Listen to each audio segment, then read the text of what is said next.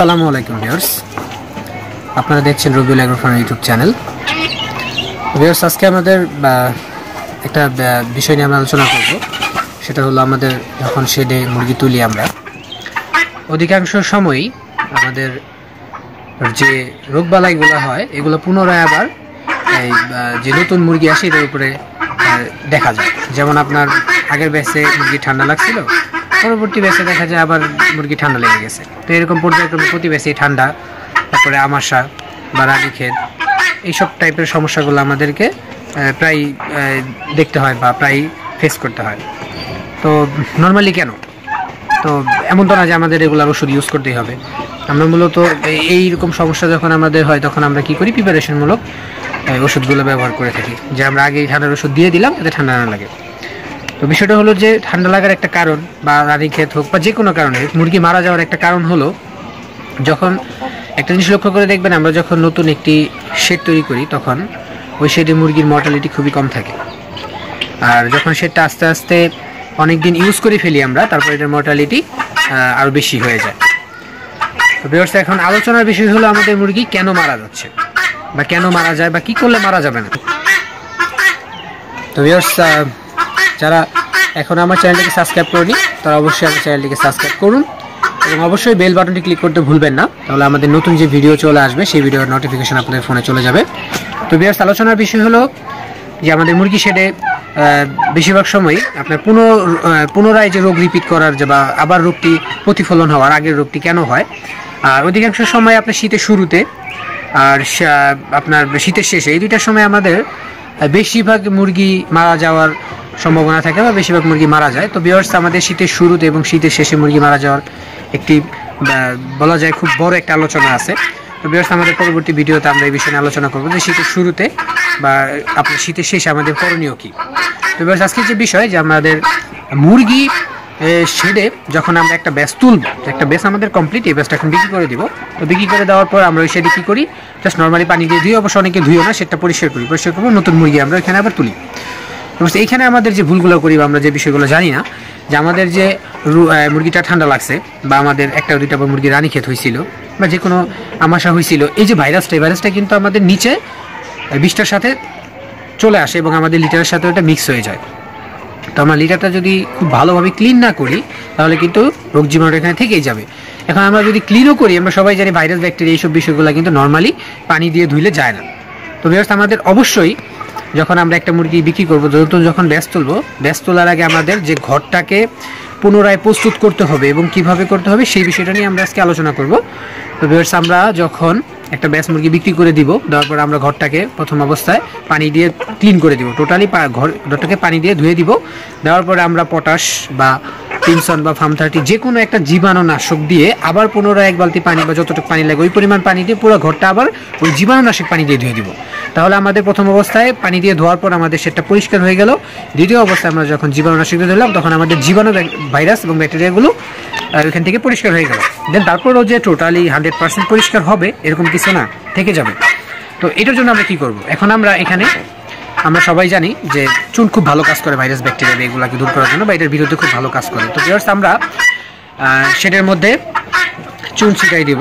দেখা গেল যে আপনার, আপনি পানি দিয়ে যখন ধুইলেন, জীবাণুনাশক পানি দিয়ে ধোয়ার পরে আমি ঝাড়া ঝাড়ু দিয়ে ক্লিন করে দিলাম। ক্লিন করে দেওয়ার পর দেখা যাবে যে পর্যাপ্ত পরিমাণ পরিষ্কার কিন্তু হবে না বা পানিগুলো শুকায় যাবে না। একটা স্যাঁত স্যাঁতে ভাত থাকবে। ওইটার উপর আমরা চুনটাকে ভালোভাবে ছিটাই দিব। ছিটাই দেওয়ার পরে আমরা ঝাড়ু দিয়ে আবার ওইটাকে একটা টান দিয়ে দিব। তাহলে দেখা যাবে চুনটা একটা একটা লেপার মতো হয়ে যাবে। আমরা হাত দিয়ে লেপলে যেরকম ঘর, আগে যখন ঘর লেপতো, যখন সুন্দর করে ক্লিন হয়ে যেত পরিষ্কার হয়ে যেত একদম লেপার মতো, ঠিক ওরকম আমাকে চুনটাকে শেডের মধ্যে লেপে দিতে হবে। তাহলে আমরা তাতে হাত দিয়ে লেপতে পারব না, যেহেতু চুন। তো বেশ আমরা ওখানে ছিটাই দেবো, ছিটাই দেওয়ার পর আমরা ঝাড়ু দিয়ে ওটাকে সুন্দর করে লেপে দিব এবং ঘরের পর পুরোটার উপরে একটা চুনের পরত পড়ে যাবে, একদম লেপার। তো বেশ আমরা এটা লেপে দেওয়ার পরে আমরা এটা কয়দিন রাখব? দেখা গেলো আজকে লেপে দিলাম শুকাই গেল, তারপর মুরগি তুলে ফেললাম বা লিটার দিয়ে দিলাম, এরকম কিছু না।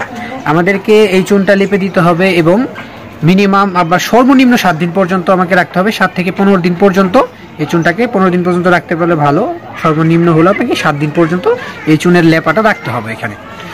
তো যদি আমাদের শেডে মারাত্মক কোনো ভাইরাস, রানীক্ষেত গামব্রু বা আপনার ফাউল কলেরা বা ভাইরাস ব্যাকটেরিয়া জনিত যদি কোনো মারাত্মক রোগ আমাদের আগের ব্যাচে হয়ে থাকে, তাহলে আমরা পরবর্তী ব্যাচ যখন করব সেম প্রসেস শুধুমাত্র এই যে চুনটা আমরা দিলাম, পরবর্তীতে এই চুনটাকে কী করব? আবার আমরা পানি দিয়ে চুনটাকে দিয়ে ফেলে দিই দিয়ে ফেলে দিয়ে আবার জীবাণুনাশক দিয়ে ধুয়ে আর আমাদের যে ঘরটা আছে, এটাকে আপনার চারদিকে আবদ্ধ অবস্থায় পর্দা টর্দা ফেলে যাতে বাতাস বেরোতে না পারে, এরকম একটা অবস্থা তৈরি করে ওইখানে আমরা যেমন আপনার ফরমালিন পাওয়া যায় ফরমালিন দিয়ে আমরা একটা ধোঁয়া তৈরি করব।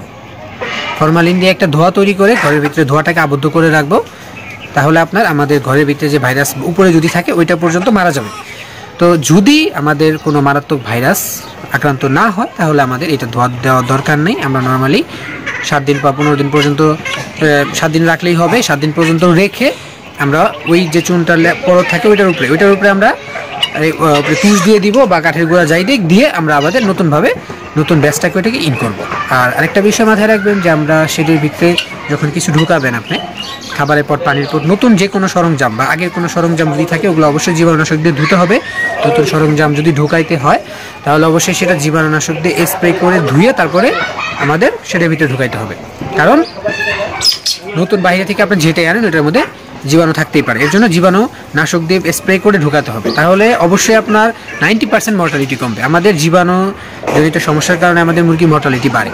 আমরা আমাদের খামারে পর্যাপ্ত পরিমাণ মেডিসিন সময় কারেন্ট বিল বিদ্যুৎ বা তাপ সব কিছুই পর্যাপ্ত পরিমাণ দেই। একটা জিনিস আমরা গুরুত্ব দেই না, সেটা হলো বায়োসিকিউরিটি আমরা একটা জিনিস সরাসরি এনে খামারের ভিতরে ঢুকালাম এবং আমরা সরাসরি ঢুকে গেলাম। তো বিয়ার্স আমরা বায়ো সিকিউরিটিটা মেনটেন করি না। আমরা দেখা গেল যে লক্ষাধিক টাকার সম্পদ এখানে পালন করতেছি, কিন্তু আমাদের সিকিউরিটি সিস্টেম যেটা তালা, ওইটা আমরা দিলাম না।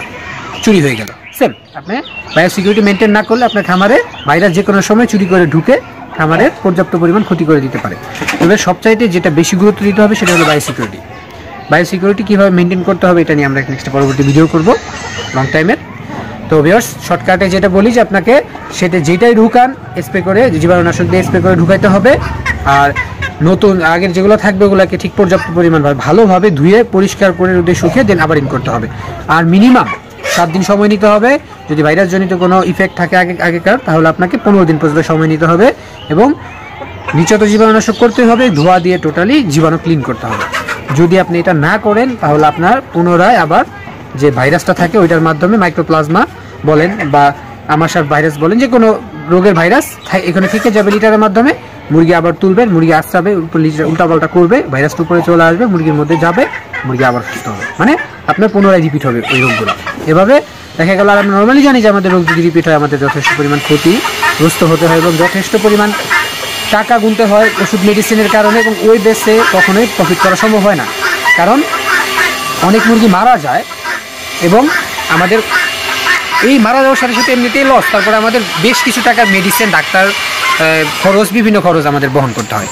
তো ভিউয়ার্স যেটা মূল কথা যে অবশ্যই নতুন মুরগি তোলার আগে ফার্মটাকে জীবাণুনাশক দিয়ে জীবাণু জীবাণুমুক্ত করে নেবেন ভাইরাস মুক্ত করে নেবেন। তো ভিউয়ার্স আজকের আলোচনা এই পর্যন্তই। সবাই ভালো থাকবেন। আবারও সবাইকে আসসালামু আলাইকুম। আমাদের পক্ষ থেকে সবাই ভালো থাকবেন।